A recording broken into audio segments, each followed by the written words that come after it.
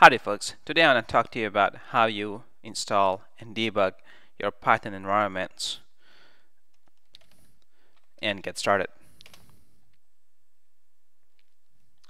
So I basically wrote down a blog post and I'm going to post a link to that in my video in the description below and that link has all the details about everything I'm going to discuss today. Uh, basically your first choice that you have to make is to install Python. Most of the folks go to python.org and download the uh, vanilla version of the Python and then they install other packages as they go. I actually took a slightly different approach and I basically am using something called Anaconda. Anaconda basically um, is another data science platform, an open source data science platform that lets me install a bunch of very popular packages at the same time in a single installation. They have one for Windows and one for Apple users and one for the Linux as well. And right now they support Python 2.7 and 3.5. I already have installed it so and they also have the installation instructions on their page. So I'm gonna skip that and leave it that to, to you. Once you install the Anaconda and an abstract you next need to install an IDE integrated development environment or you need to install or you need to pick your text editor if you don't already have one. Um, for the IDEs you have one choice to use um, first choice is to use Visual Studio and the second is PyCharm now both these IDEs have free as well as paid versions. Visual Studio has a free version called Visual Studio Community Edition that is free and does not have any trial limit or any feature limitations. You can then install something called Python Tools for Visual Studio and that will get you started to start coding Python in your Visual Studio. You can also use the paid version. They have professional as well as premium versions if you so prefer. Uh, on the other side, PyCharm has Community Edition as well as Student Edition as free options and I think that they also have a professional version if you want to pay and purchase the license.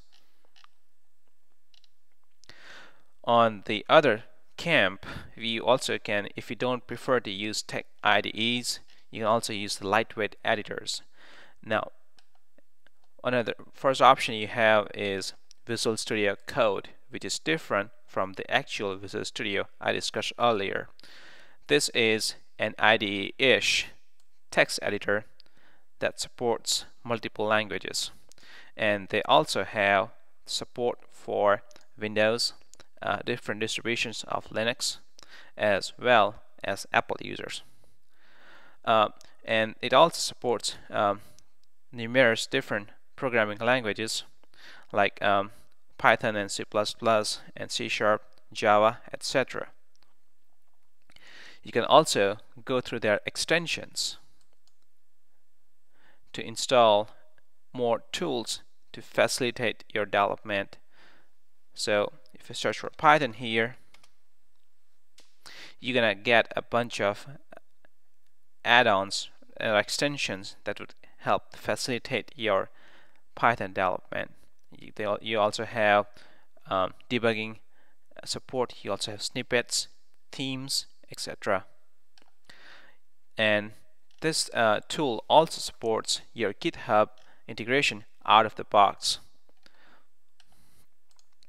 Next choice is from GitHub itself. It's something called Atom and it's a very good text editor uh, as an alternative and they also have a cool YouTube commercial. Uh, next comes is brackets from Python from um, Adobe. It is very slick text editor and um, it is web-based um, text editor that would help you to debug and write down your programs. A very popular choice is Sublime Text. You can use it and I'm not sure if it's if they have a free alternative but it is very powerful and very popular and it's very versatile as well one of my favorites next is the TextMate for Apple users you can download and install as well to do your Python work um, I also want to briefly discuss your choice about using GitHub tools. I'm only going to go through only one uh, called SourceTree that is available for Mac as well as Windows. And the beauty is you can also do GUI stuff as well as command line uh, operations whatever suits or whatever you prefer. Uh, Tower is a good another alternative for Apple users and for Linux users. Um, you can also use something called GitWeb UI um, but I'm sure that there are other tools that I myself have used in the past about Git um, on Linux. For merge, you can use uh, different uh, tools that will integrate with SourceTree and so forth. Uh, if you are an existing C-sharp developer and want to map your knowledge to Python, that I found an interesting video on YouTube that helps you do that. So check it out if you are a C-sharp developer and wish to map your knowledge to Python. Now, um, if you want to get more details about IDE and getting started and configuring and, and debugging and development, you'll have I have also embedded a YouTube series for Visual Studio as well as PyCharm to get you more details. So without further ado, let's jump right into the demo.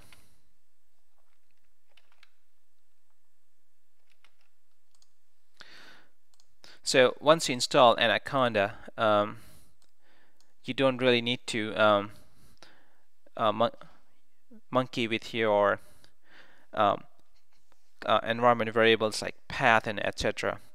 Once you install Anaconda, you can simply type in Python and it will show you uh, that Anaconda has already been installed. So that is your test to make sure that you have installed Python correctly via Anaconda. Next, I'm going to get started with uh, a demo. I'm going to demonstrate a repository that I downloaded from GitHub as a zip archive. So I'm simply going to open it up and I'm going to extract it for the demo purpose. And I'm going to open Visual Studio. I have a slightly old version of Visual Studio. It's 2013. The latest as of now is 2015 and I have a premium version but I'm not I don't think that that would make any difference to your if you want to follow up with the project. So once you have installed Python tools after installing Visual Studio the next thing you can do is you can check your Python environments. Um, if Python has not been auto automatically detected you can actually also manually add by clicking on that custom button. Once you do that you will have an opportunity to name your to give a nickname to your environment. And you can also specify the path to different aspects of your Python installation. For example the library Python the window interpreter the Python w.exe and the interpreter. Um, next thing you want to do is you can also um, specify uh, more options uh, like your architecture and things like that. So for now, I'm going to remove this. And after you have Anaconda configured, this is how it might look like. So you would have your different um, properties punched in in here, and it, it, that's ready to go. Next thing is your pip, and that's where your packages are coming from. So this all packages you're seeing right now have already been installed as a part of Anaconda installation. And that's also a beauty of it that it makes pretty easy and immersive experience. And you can also install some new package right here and simply by clicking on it it is going to execute the, the pypy uh, pip command to install that particular package if it found on the repository Another thing, if you want to refresh the IntelliSense, you can also uh, click on this refresh button. That's going to take a minute or two. And that would be very helpful if you have added or removed a bunch of packages from your Python installation. So let's get started with actually importing your code into the Python. So once you have extracted that directory, you want to copy the path to that URL and once you're ready to go with your Python tools you should also see another um, node in your new project window for Python. You can click the first option which is to choose from existing Python code hit OK paste your path hit next and here you can set up your default startup file that would be called when you hit the F5 button. I'm gonna go with the default right now but I'm gonna change it later for the demonstration purposes. You can hit finish right at this point or I'm gonna also click next to show you the next screen. That's where it, it wants you to detect the virtual environments or you can also and additionally you can also specify if this is a web project or or Universal Windows application or what. So that's where you can get to pick. But I'm gonna leave it blank for now and hit finish. Once your project is ready to go, you can also open up your file and make changes to it.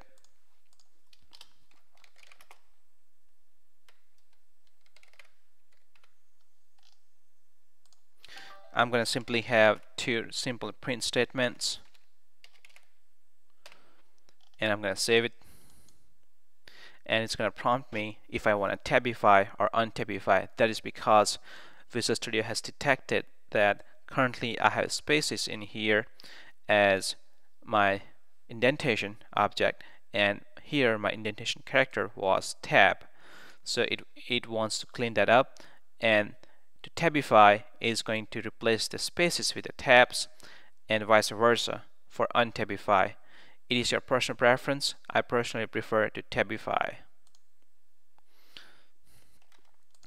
Also for debugging, I want to set a breakpoint here on this particular line so it, I want this execution flow to be stopped so I can view and inspect problem object for example. Next thing is I for my project it happens that this particular file has the main method so I want this file to be called every time I, I press this little F uh, play button or I, or I hit F5 which is the shortcut key to start my debugging. So I'm going to start this file as my startup file by doing a right click and selecting set as startup file from it. Now I'm ready to go to start debugging in Python using Visual Studio. I simply now click F5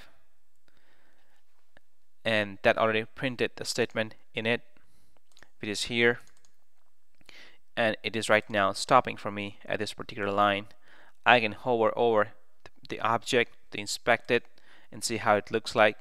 I can, I can even ex further expand the directory objects to inspect more details on it. Furthermore I can also double click on here and I can change the value on the file on the fly. And now my this particular value is something else. If you prefer to use a command um, window you can immediately write down to access the value of this particular variable you can say problem dot name oops and that is going to give you the value of that particular variable that you have here. Another way is to right mouse and select quick watch. That lets you do the same thing in a more interactive way where you can literally expand the objects and see the details on it. And as you can see that this is helping you figure out that what you might need to write down to access this particular value. So for example, I want to access particular shape value for this, or I would simply select this particular value. Now that is not what you might want to do if you're looping through it, but this particular value might be accessed the same way. So that's what, that's what tells you that the figure B's object B uh, has an attribute called shape and its value is square and you can also add the old-fashioned watch but it is just not interactive way of um, playing with those objects. You can also delete the breakpoint by clicking on the same breakpoint again and then you can continue your debugging by hitting on this continue button. And that is continuing to execute your program. Now you have basically two choices to execute and debug your program. One is what we just used debugging and the second is to start without debugging that's where your program would not stop for the breakpoints it simply executes even though if you have breakpoints or not so that wraps up the Visual Studio demo. Let's switch to PyCharm now.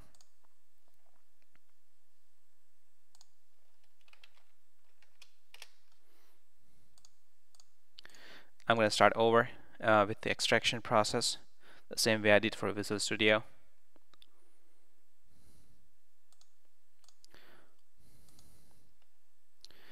And because PyCharm takes a little bit time to fire up, I already had open it up in the background.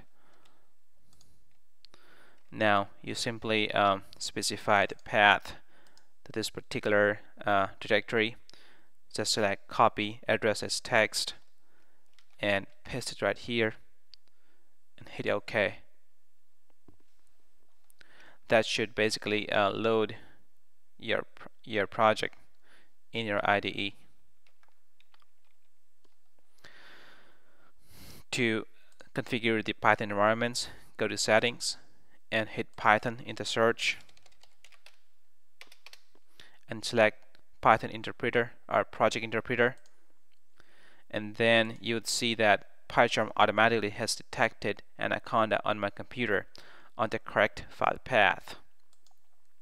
If you don't see it, you need to click on this gear or pinion or the settings icon if, and select add local and from here from this window you can basically specify the path to your python.exe and hit OK to add your Python interpreter to this project.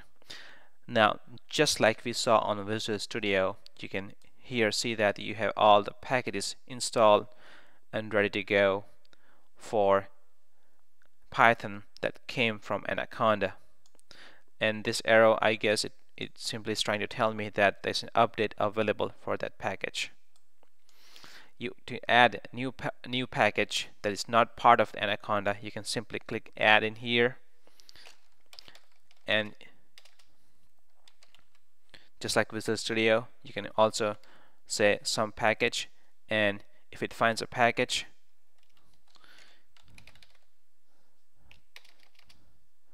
you can select it from the list.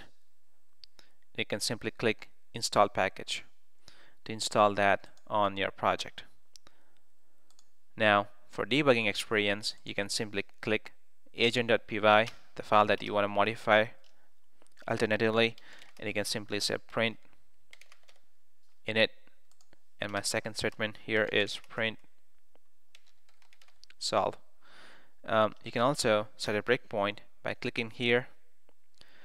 And then if I want to start debugging from another file the simplest way of doing that is to right mouse on the file that you want to start executing. In my case it is going to be this particular file.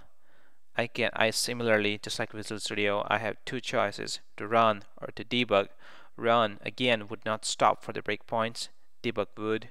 So I'm gonna select debug